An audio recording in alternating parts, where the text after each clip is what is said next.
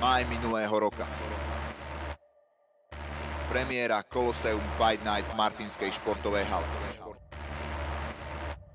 Prešiel rok a dnes hučí celý zimný štadión mená svojich gladiátorov. Avšak rok je poriadne dlhá doba.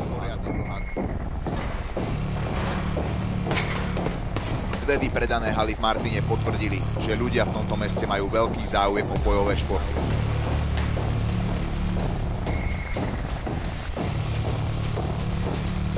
Preto Koloseum privíta svojich gladiátorov už túto zimu.